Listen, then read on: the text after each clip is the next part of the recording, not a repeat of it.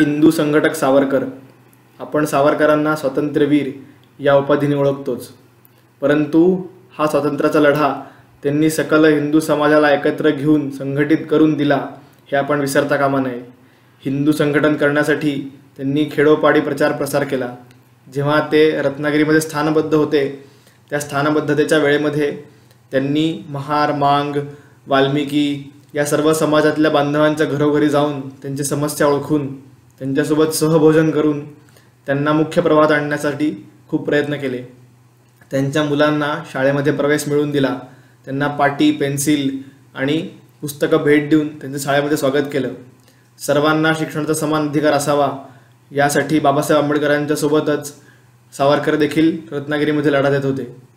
महाडच्या तळा तळ्याच्या सत्याग्रहामध्ये सावरकरांचा आंबेडकरांना संपूर्ण पाठिंबा होता. त्याचबरोबर नाशिकमध्ये मंदिर प्रवेशासाठी देखील सावरकरांनी आंबेडकरांचे समर्थन केले होते. अशाच प्रकारे रत्नागिरीमध्ये पतित पावन मंदिर हे सा सावरकरांच्या मार्गदर्शनाखाली उभे राहिले आणि हे रत्नागिरीमधले पहिले मंदिर होते की ज्यामध्ये सर्व जातीय लोकांना प्रवेश होता. दहा मार्च एकोणीसशे एकोणतीस रोजी या मंदिराची पायाभरणी झाली आणि त्यानंतर दोन वर्षांनी हे मंदिर बांधून तयार झाले.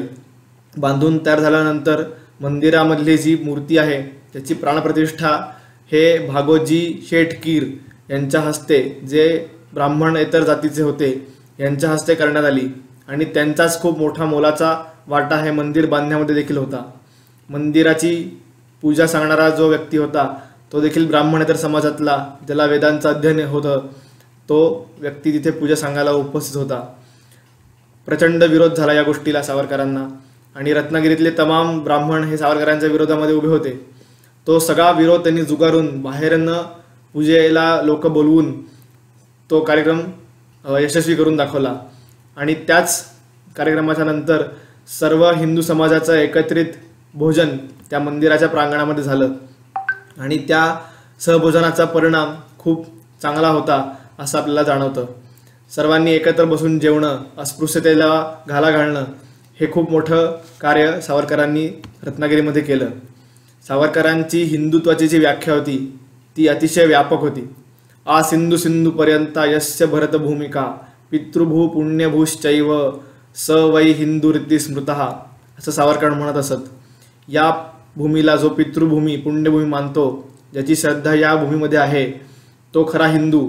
भले त्याची जात कुठली असू देत त्याचा वर्ण कुठला असू देत त्याचा भाषा कुठली असू देत प्रांत कुठला असू देत आपण सर्व हिंदू आहोत आणि या भरतभूमीसाठी आपण जगलं पाहिजे मेलं पाहिजे असा संदेश सावरकरांनी या व्याख्यातून दिला.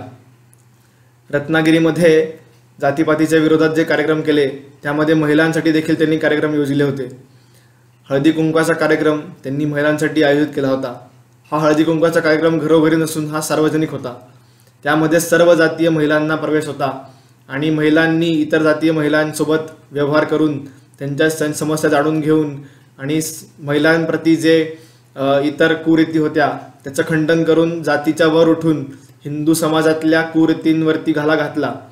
आणि अशा प्रकारे मोठ्या प्रमाणावरती हळदी कुंकवाचे कार्यक्रम यशस्वी झाले. त्याचबरोबर ज्या सावरकर विज्ञाननिष्ठ होतेच त्यामुळे हिंदू धर्मातल्या ज्या कुरीती होत्या जसं जन्मजात जातीवर्ण जे भेदभाव निर्माण झाले होते त्याचा विरोध त्यांनी नक्की केला. आणि त्या विरोधाच्या आधारावरती त्यांनी सकल हिंदू समाजाचे संघटन करण्याचा प्रयत्न केला. हिंदू समाज हा सशक्त सुसंघटित आणि सुशिक्षित व्हावा असं सावरकरांचं म्हणणं होतं. आणि त्यासाठी प्रत्येकाला आपल्या जातीपातीचा वर उठून प्रयत्न करण्याची गरज होती. आपल्या हिंदू धर्मामध्ये जे काही ज्ञान आहे जो काही गाभा आहे तो आपल्याला एकत्रित राहण्यासाठी एकत्र काम करण्यासाठी एकत्रित समाजाचा उद्धार करण्यासाठी शिकवतो. आणि ह्याची पुनरावृत्ती व्हावी आणि ह्याचं सर्वांना पुनस्मरण व्हावं यासाठी सावरकरांनी बरेच उपक्रम हाती घेतले. पतित पावन मंदिरामध्ये जो गणेशोत्सव साजरा केला जात होता तो सर्व जातीयांसाठी खुला होता.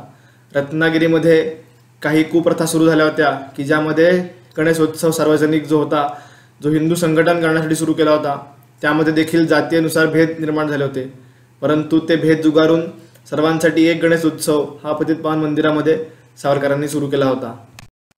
बावीस फेब्रुवारी रोजी सावरकरांनी अस्पृश्यतेच्या दानवाची होळी त्याचं दहन हा कार्यक्रम घेतला होता. आपल्या सर्वांना माहिती आहे की पुण्यामध्ये त्यांनी विदेशी कपड्यांची होळी केली होती. त्याचबरोबर रत्नागिरीमध्ये अस्पृश्यतेचं दानव असा पुतळा तयार करून त्याचं दहन सर्वांसमक्ष त्यांनी केलं.